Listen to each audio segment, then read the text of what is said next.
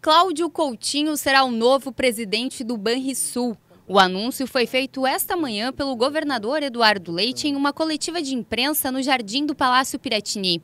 A escolha de Coutinho para o cargo, segundo o governador, foi pela trajetória do economista, que possui conhecimento sobre os setores público e privado. E é nesse sentido que nós buscamos um nome que atendesse a esta visão de mercado e, ao mesmo tempo, de desenvolvimento para o Estado. E assim apresento o Cláudio Coutinho, que será o nosso presidente do Banrisul. Seja bem-vindo ao time.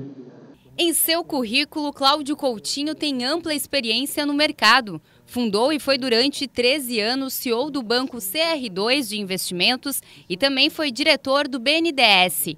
O foco do novo presidente será reforçar ações mais rentáveis do banco, como a do varejo, incentivar financiamento de investimentos e dar apoio às exportações e ao agronegócio. Essas três áreas o banco já atua, mas certamente poderá ter uma expressão muito maior e, de certa forma, é, ajudar o desenvolvimento do Estado do Rio Grande do Sul, levando ele a ter um crescimento maior do que tem tido até o momento.